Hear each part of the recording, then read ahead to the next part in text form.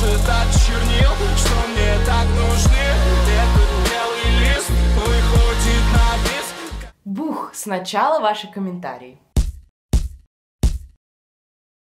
Хей, всем привет, меня зовут Нала, и сегодня я покажу вам свой скетчбук. Нарисовала я там не очень много, поскольку у меня институт и всякие просмотры, но все равно, я думаю, вам будет интересно на это посмотреть. Выглядит он вот так, вот такой вот желтенький с маленькими полосочками. Да, и, кстати говоря, здесь все, что я нарисовала за сентябрь, октябрь и маленький кусочек ноября. Так что поехали! А, Я рада презентовать вам свой новый скетчбук, который мне подарили на день рождения, поскольку тот другой, который был зеленый и розовый, их было два.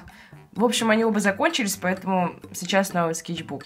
Извиняюсь за то, что нет моего лица в кадре, хотя я думаю, вы уже многие от него устали, так что отдохнете. Это скетчбук фирмы Falafel. Бумага здесь достаточно э, тоненькая и имеет желтоватый оттенок такой. А вот это вот наклеечка из пака с Каролиной в «Стране кошмара». Ну что ж, начнем. Это самая первая страница, и вау! Вы не поверите, но впервые, впервые за долгое время я нарисовала здесь разворот какой-то. Это просто охуенно.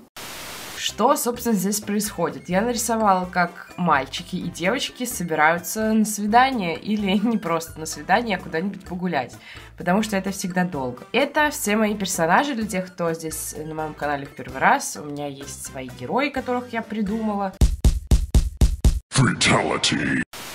Про них есть отдельное видео. Точнее, это не отдельное видео, а ответ на вопросы. Там вы сможете что-нибудь узнать для себя интересное. Кстати говоря, скоро будет отдельное видео на 100 тысяч подписчиков про всех моих героев.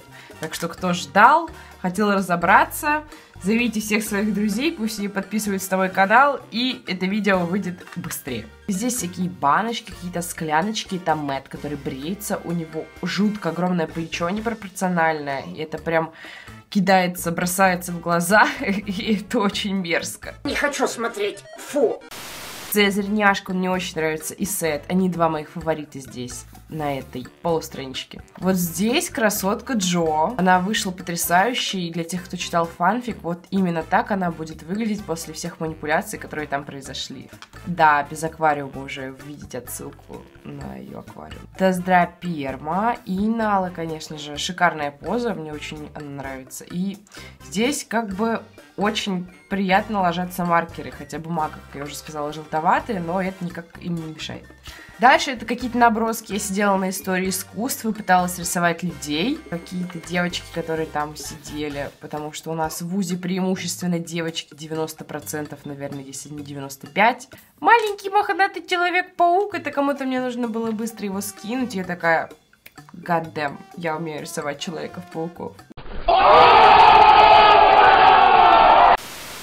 этой страничке просто какие-то скетчи, опять же таки линер, потому что это был инктобер, и я решила, почему бы и нет, собственно.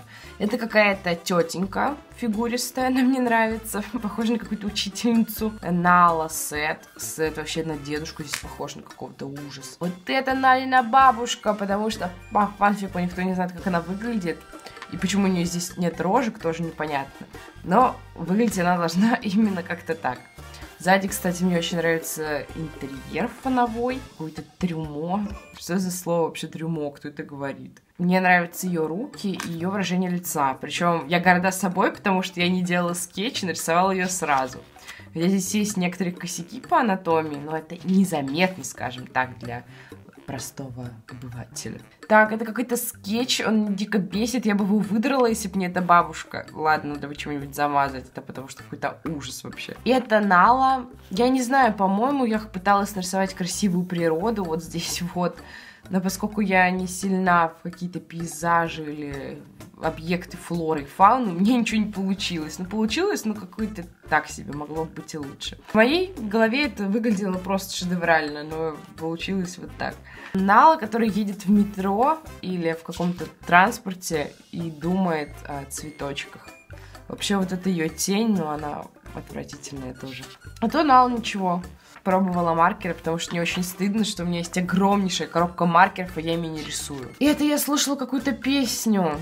Жуки в янтаре, по-моему, кто-то мне ее скинул из моих любимых подписчиков в паблика. Я просто кайфовала от нее. Ну и поскольку она такая грустная, здесь плачущая Нала, и опять же все такое динамичное.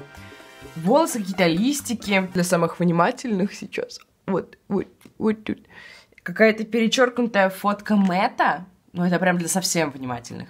Разбитая чашка, зажигалка. Вот здесь тоже какая-то фотография, разбитая тарелка. И все идет к такому, знаете, грустному концу. Неудавшиеся кики. Я вообще не знаю, что со мной происходит в последнее время.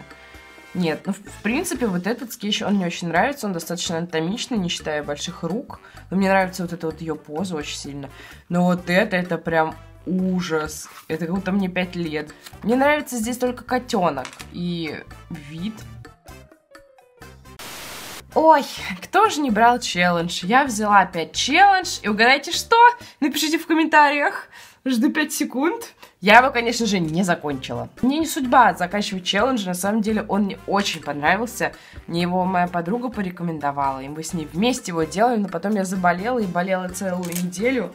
Чисто физически была вообще не в состоянии что-либо рисовать. И это, кстати говоря, последний день, это пьяная фея. Я ее вижу как-то так.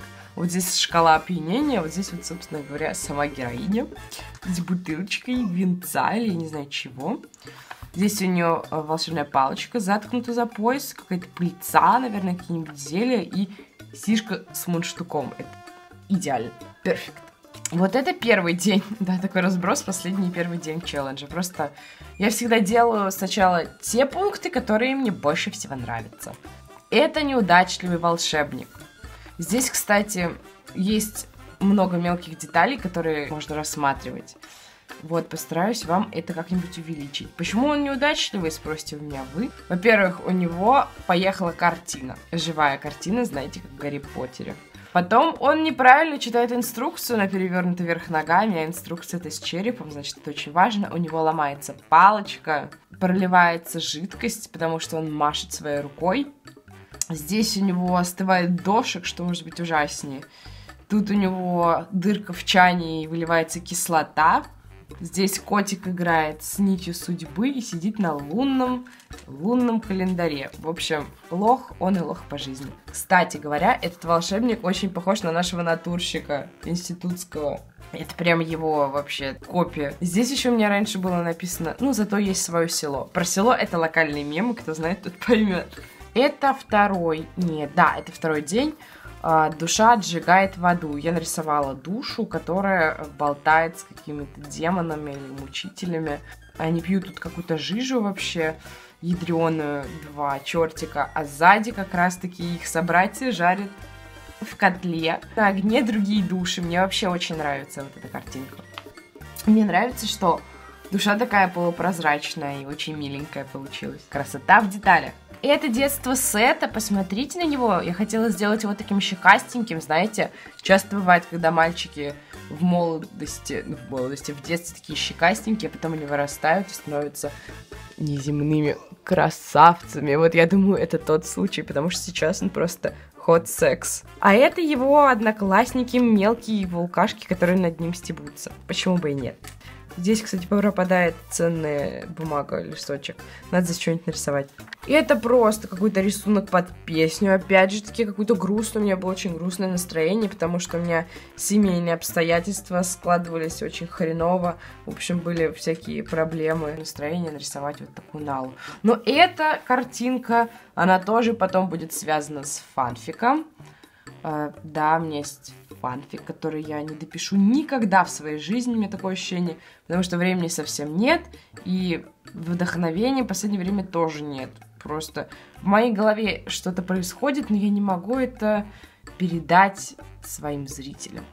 Это они в поле, и это они около дома Налы, в котором она выросла вместе с бабушкой, как раз таки вот. Мне нравится вот здесь вот все вот это вот, вот розовенькая хрень, это прекрасно. И Мэтт такой. Посмотрите на его попку, она же секси.